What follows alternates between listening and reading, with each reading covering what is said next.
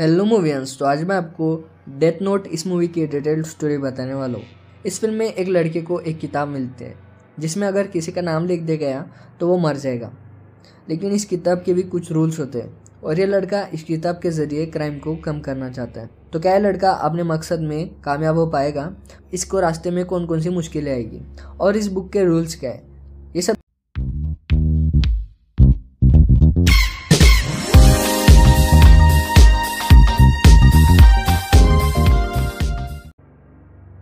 तो फ़िल्म की शुरुआत में हमें सियाटल, वाशिंगटन के एक हाई स्कूल का सीन दिखाया जाता है। उधर एक स्टूडेंट होता है जिसका नाम होता है लाइट टर्नर तो एक मामूली दिन जब वो हाई स्कूल में होता है, तब एक तूफ़ान आता है और उसके पास आसमान से एक बुक गिरती है। इस बुक का नाम होता है डेथ नोट तो मैं आपको इस बुक के बारे में थोड़ा सा बता देता हूँ। डेथ नोट बहुत ही ज़्यादा डेंजरस और पावरफुल चीज़ होती है। अगर उसमें किसी का भी नाम लिख दिया गया तो वो मर जाएगा। लेकिन इसके भी कुछ रूल्स होते हैं। जैसे अगर जिसका भी नाम लिखना है, उसका चेहरा हमें पता होना चाहिए कि वो दिखता कैसा है। और जब भी हम उसका नाम लिखते हैं, तब हमें यह भी लिखना होगा कि वो मरेगा कैसे, यानी उसके मरने का तरीका। और जो मरने का तरीका जो हम लिख रहे हैं, वो रियलिटी में होना चाहिए पॉसिबल। यानी कुछ भी नहीं लिख सकते। यानी जैसे एक आदमी को मारने के लिए कुछ प्लानट आके टकरा गया, या फिर ऐसी कुछ चीज़ें। यानी जो ओरिजिनली पॉसिबल है, वैसी चीज़ें हम उधर लिख सकते। तो इस बुक के बाकी रूल्स ये होते हैं कि बुक का जो मालिक है, वो इस बुक का कंट्रोल किसी दूसरे को भी दे सकता है। और इस बुक का एक रूल ये भी होता है कि अगर इस बुक में सात दिनों के अंदर किसी का नाम नहीं लिखा तो ये बुक किसी दूसरे की तरफ़ ही चली जाएँगी। यानी सात दिनों के अंदर किसी का ना किसी का नाम तो लिखना ही होगा। तो यही रूल्स आगे जाके लाइट के लिए खतरा बनते हैं। तो ये सब आपको आगे पता चलेगा। तब तक के लिए मैं आपको आगे की स्टोरी बताता हूँ। तो बुक का एक प्रोटेक्टर भी होता है। उसका नाम होता है Duke Ryuk actually god of death भी होता है। और वो इस डेथ नोट का फ़र्स्ट ओनर भी होता है। और उसे लोगों को मरता हुआ देख बहुत ही मज़ा आता है। जो भी डेथ नोट का ओनर है करंट ओनर उसी को र्यूक दिखता है। यानी बाकी दूसरे को र्यूक नहीं दिखता। और इसकी बातें भी बस जो ओनर है, वही सुन सकता है। तो र्यूक ये देखता है कि रूल्स फॉलो हो रहे हैं या नहीं।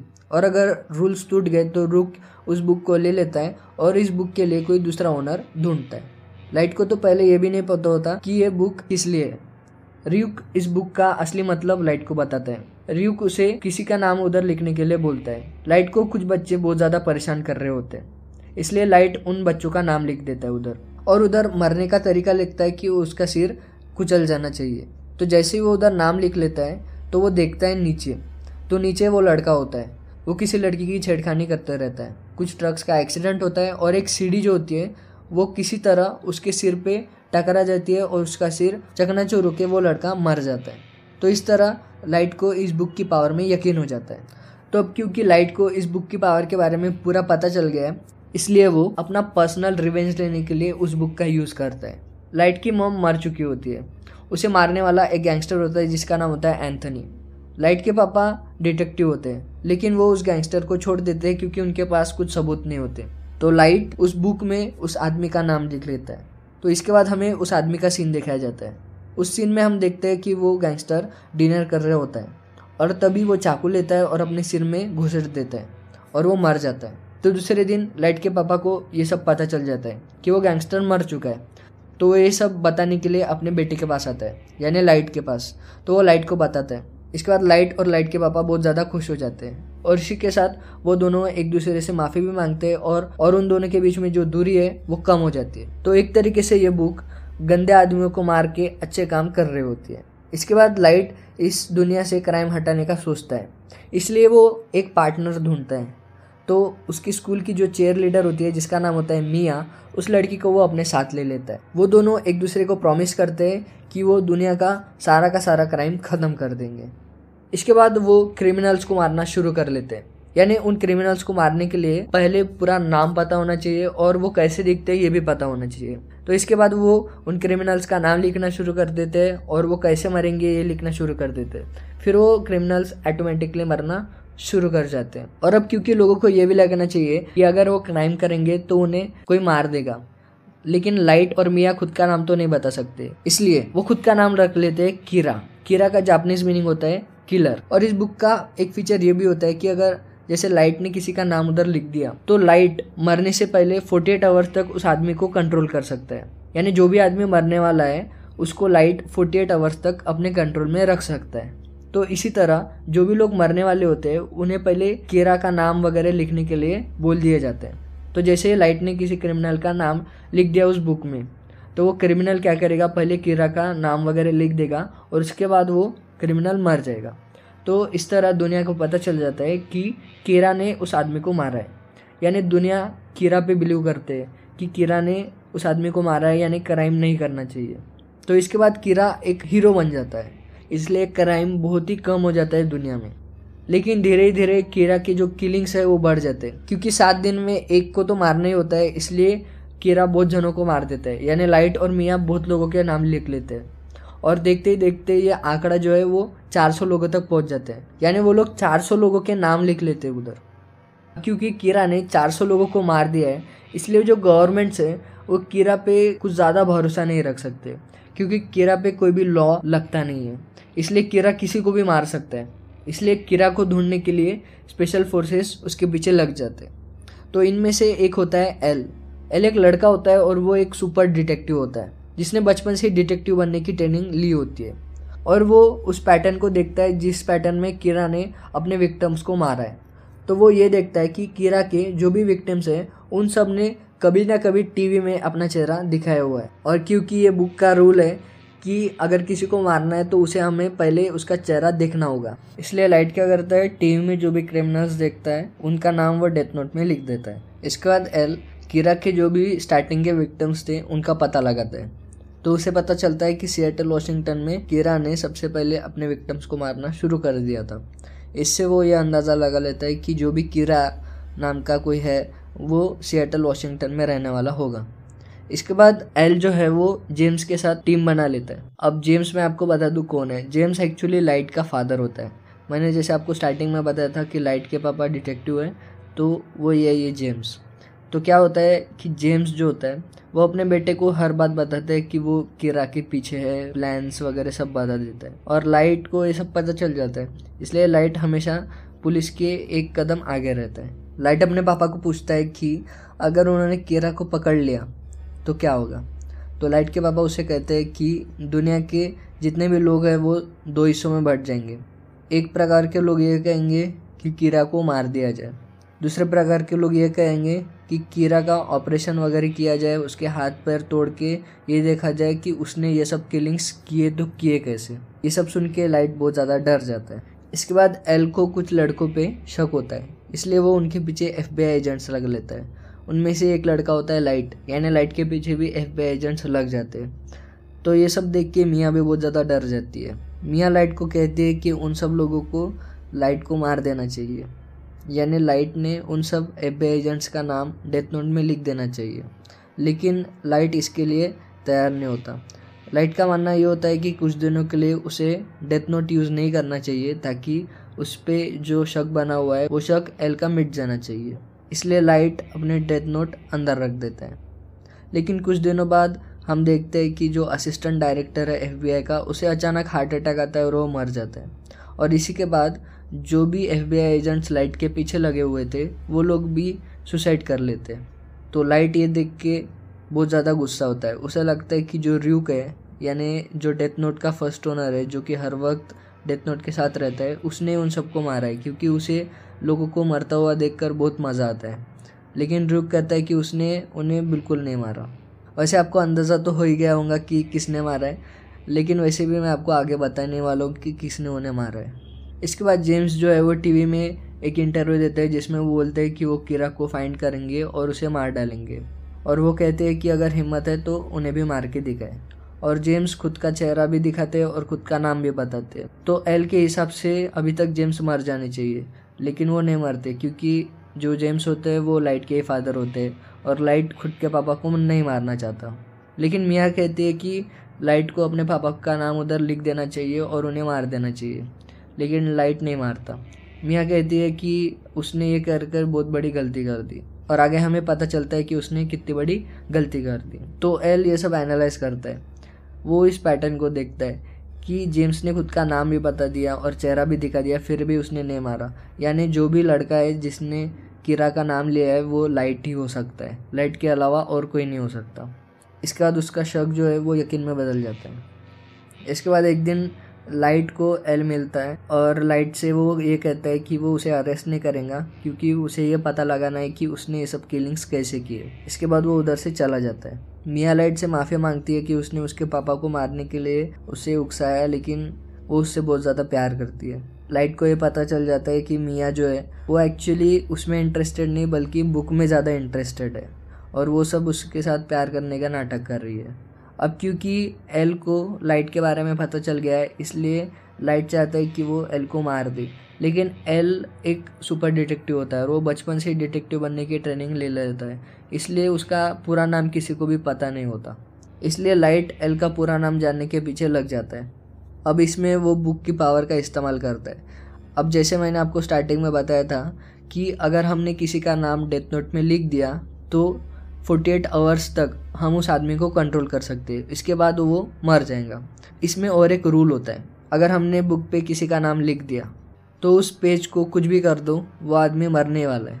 लेकिन बस एक बार हम ऐसा कर सकते हैं कि वो जो भी पेज है, उसको जला सकते हैं और फिर वो आदमी बच जाएगा। ये बस एक ही बार कर सकते हैं। जो वटारी है वटारी एल का बहुत ज़्यादा क्लोज आदमी होता है। लेकिन उसे भी एल का पूरा नाम नहीं पता होता। तो लाइट क्या करता है? वटारी का नाम डेथ नोट में लिख लेता है और उसे अपने कंट्रोल में ले लेता है। लाइट वटारी को मारना नहीं चाहता। उसे बस कंट्रोल में लेना चाहता है और एल का नाम पता करना चाहता है। उसका प्लान ये होता है कि जैसे उसे एल का पूरा नाम पता चल जाएगा, वैसे वो वटारी का जो भी पेज है उसे आग में जला देगा और फिर वटारी बच जाएगा। इसके बाद वो एल का नाम उधर लिख देगा और एल मर जाएगा। लेकिन ये जितना सिंपल प्लान दिखता है, उतना सिंपल प्लान होता नहीं है और उसे बाद में बहुत ज़्यादा प्रॉब्लम्स आते हैं। तो बताता हूँ मैं आपको कि उसको क्या प्रॉब्लम्स आते हैं। तो जो वटारी जो है वो एल का पूरा नाम ढूँढने के पीछे लग जाता है और वो घर को छोड़ देता है। तो जब एल को पता चल जाता है कि वटारी उधर से निकल चुका है और वो वटारी को फाइंड नहीं कर पाता तो एल को लगता है कि जो लाइट है उसी ने वटारी को कंट्रोल में ले लिया होगा।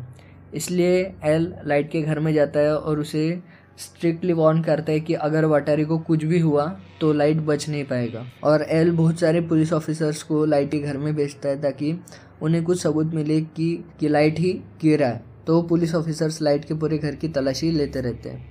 तो तभी र्यूक लाइट को बताता है कि अगर उन्होंने डेथ नोट को फाइंड कर लिया तो डेथ नोट लाइट की तरफ़ से चली जाएँगी और फिर र्यूक उसे किसी दूसरे आदमी के पास दे जाएगा। इसके बाद हमें वटारी का सीन देखा जाता है। वटारी एल के बचपन के स्कूल में जाता है। तो एक्चुअली वो स्कूल नहीं होता, वो डिटेक्टिव बनने का हेडक्वार्टर होता है। तो एल उधर का सबसे यंगेस्ट कैंडिडेट था, बस छः साल का। इसके बाद वटारी जो है वो बहुत सारी इन्फॉर्मेशन फाइंड करता है। और इधर हम देखते हैं कि लाइट के घर में मियाँ क्या करती है बहुत ही चालाकी से उसके घर में जाती है और डेथ नोट को ले लेती है। और इसके पहले कि डेथ नोट पुलिस के हाथ में लगे, मियाँ उसे अपने पास ले लेती है। इसके बाद मियाँ लाइट को लेके स्कूल में डांस करने के लिए जाती है। मियाँ लाइट को डेथ नोट देती है। अब क्योंकि फोर्टी एट आवर्स कंप्लीट होने वाले होते हैं, इसलिए लाइट क्या करता है? वटारी का जो भी पेज होता है, उसे जलाने के लिए तैयार हो जाता है। लेकिन जब वो बुक में ढूंढता है, तब वटारी के नाम का जो पेज होता है, वो उधर से किसी ने फाड़ दिया होता है। अब उसे वो पेज मिलता ही नहीं है और फोर्टी एट आवर्स कंप्लीट भी होने वाले होते हैं। तभी वटारी उसे कॉल करता है ताकि वो उसे एल का पूरा नाम बता सके। और जैसे ही वो कॉल करता है, वैसे ही फोर्टी एट आवर्स कंप्लीट हो जाते हैं और वो बताने से पहले उधर कुछ लोग पहुँच जाते हैं और वो वटारी को मार देते हैं। यानी एक्चुअली डेथ नोट का ही काम होता है उसे मारने का, लेकिन फोर्टी एट आवर्स कंप्लीट हो जाते हैं और तभी वो मर जाता है। इसलिए लाइट को अभी एल का पूरा नाम भी नहीं पता होता और वटारी भी मर जाता है। और अभी उसे ये पता होता है कि अगर वटारी के डेथ के बारे में एल को पता चला तो लाइट तो मर गया। इसके बाद मियाँ लाइट को बताती है कि उसी ने वटारी का जो पेज है, वो गायब किया था और उसी ने जो एफ़ एजेंट्स थे और एफ़ का असिस्टेंट डायरेक्टर था, उन्हें मार दिया। अब आपको ये तो सवाल आएगा कि मियाँ को क्या फ़ायदा हुआ वटारी को मार के? अब इसमें वटारी को मारना, ना मारना, इसमें कोई भी फ़ायदा नहीं था। इसमें बस एक बात थी कि बुक का एक रूल है, जिसमें हम बस एक ही आदमी को बचा सकते हैं, उसका पेज जलाकर। तो मैं आपको अब बताऊँगा कि मियाँ का प्लान क्या था, इसके बाद आपको पता चलेगा कि उसने वाटरी को क्यों मरने दिया। तो मियाँ क्या करती है, जब वो घर से बुक लेके आती है, यानी डेथ नोट तो उसमें वो लिखती है कि लाइट का जो दिल है, वो आधी रात को धड़कना बंद कर देगा। यानी लाइट को हार्ट अटैक आके वो मर जाएगा आधी रात को। और वो पेज मियाँ खुद के पास रख लेती है। तो मियाँ लाइट को कहती है कि उसे वो डेथ नोट चाहिए। और अगर लाइट ने ऐसा नहीं किया, और अगर लाइट ने ऐसा नहीं किया तो वो आधी रात को ऐसे भी मारने वाला है क्योंकि उसका नाम उस डेथ नोट में मियाँ ने लिख दिया है, और वो पेज मियाँ के पास है। और मियाँ कहती है कि अगर लाइट ने उसे डेथ नोट दे दी तो एक आदमी को वो बचा सकते हैं, रूल के हिसाब से। तो वो लाइट को बचा देंगी, यानी वो जो पेज है, वो उसे जला देगी। इसीलिए मियाँ क्या करती है कि वटारी को मरने देती है। क्योंकि अगर लाइट अगर वटारी का पेज अगर जला देता तो मियाँ का ये प्लान तो सक्सेसफुली नहीं हो पाता। लेकिन ये भी उसके लिए अभी आगे जाके बहुत बड़ी मुसीबत बनने वाली है, आपको पता ही चलेगा अभी। तो अब कोई ये भी बोल सकता है कि जो लाइट है, लाइट क्या कर सकता है कि मियाँ का नाम डेथ नोट में लिख सकता है। और फिर वो भी मियाँ को फिर से ब्लैकमेल कर सकता है। लेकिन मैं आपको बता दूँ कि अगर मियाँ मर भी गई, ठीक है सपोज़ मर भी गई लेकिन मियाँ ने जो पेज लाइट का अपने पास छुपा के रखा है, वो तो किसी को पता नहीं होता। वो बस मियाँ को पता होता है। तो अगर मियाँ मर भी गई तो लाइट को वैसे भी आधी रात को मरनी है इसलिए लाइट अभी प्लान बनाता है कि उसे मियाँ से कैसे बचना है। तो ये प्लान अभी आपको आगे पता ही चलेगा, बहुत ही अच्छा प्लान होता है। तो अभी इसी बीच क्या होता है, लाइट पे और एक मुसीबत आ जाती है। एल आता है, वो लाइट को पकड़ लेता है और एल के सिर पे तो खून सवार होता है। अभी वो कोई डिटेक्टिव या फिर कुछ इस प्रकार बिहेव नहीं करता, यानी वो कोई भी रूल्स में नहीं होता। वो एक गुंडे की तरह लाइट को मारने के पीछे होता है। तो जब वो लाइट को मारने वाला होता है, तभी पता नहीं किधर से एक आदमी आता है, शेफ होता है वो। वो देख लेता है कि जो एल है, वो लाइट को मारने वाला है। तो एल क्या करता है, ताकि कोई मुसीबत ना हो, इसलिए एल क्या करता है, वो जो शेफ है, उसे बताता है कि ये जो लाइट है, ये गिरा है और इसे मार के वो दुनिया को बचा रहा है। तो वो शेफ सुनता है ये सब। इसके बाद एल लाइट को शूट करने वाला होता है। तभी वो शेफ एल के सिर पे जोरदार वार करता है और एल को बेहोश कर देता है। अब आप पूछोगे कि क्यों बेहोश किया? तो मैं आपको बता दूँ कि जो शेफ होता है, वो कीरा का एक सपोर्टर होता है और वो ये नहीं चाहता कि कीरा मरे, क्योंकि कीरा ने उसके लिए इनडायरेक्टली अच्छे काम किए होते हैं? क्योंकि उसने बहुत सारे क्रिमिनल्स को मारा होता है, इसलिए इसलिए वो जो शेफ होता है, वो कीरा का एक सपोर्टर होता है। तो इस तरह लाइट बच जाता है, थोड़ी देर के लिए। इसके बाद लाइट मियाँ को मिलने के लिए फेरिस व्हील पे जाता है। मियाँ लाइट से बुक छीन लेती है, लेकिन तभी जो फेरिस व्हील है, वो टूट जाता है और वो गिरने लगता है। अब ये क्यों गिर रहा है? क्योंकि लाइट ने मियाँ का नाम उस बुक में लिख दिया है। अब आप बोलोगे कि अभी लाइट ने उसका नाम लिख दिया, लेकिन लाइट के पास तो खुद के नाम का पेज नहीं है, इसलिए वो तो दोनों भी मरने वाले हैं। तो लाइट यही चाहता है कि वो दोनों मरे, क्योंकि वो ये नहीं चाहता कि उस बुक का कंट्रोल मियाँ ले, क्योंकि मियाँ जो है वो गलत काम करने वाली औरत होती है। इसलिए वो ये नहीं चाहता कि गलत हाथों में भूख जाए। तो वो फेरिस व्हील टूट जाता है और वो गिरने लगता है, और मियाँ उधर से गिर जाती है और वो मर जाती है। और तभी लाइट पता नहीं कैसे, लेकिन वो पानी में गिरता है, और लाइट नहीं मरता। लेकिन मियाँ मर जाती है। अब क्यों नहीं मरता तो मैं आपको बता देता हूँ। जब मियाँ उधर से गिरते रहती है, तब उसके पास जो पेज होता है, जिसमें लाइट का नाम लिखा होता है, वो पता नहीं कैसे, लेकिन उधर थोड़ी सी आग जल रही होती है, उधर वो पेज गिर जाता है। और अब आग में वो पेज जल जाता है और इसके कारण जो लाइट है वो बच जाता है और लाइट पानी में गिरता है। अब इसके बाद का जो है वो बहुत ही इंटरेस्टिंग है। तो इसको आप ध्यान से सुनिए, ठीक है? तो डेथ नोट है, वो भी पानी में ही गिरती है। अब डेथ नोट पानी में गिर जाती है और उसे कोई आदमी उठा लेता है। लाइट पानी में गिर जाता है। वो कोमा में चला जाता है। वो हॉस्पिटल में बैठा हुआ होता है बेड पे, यानी सोया हुआ होता है कोमा में।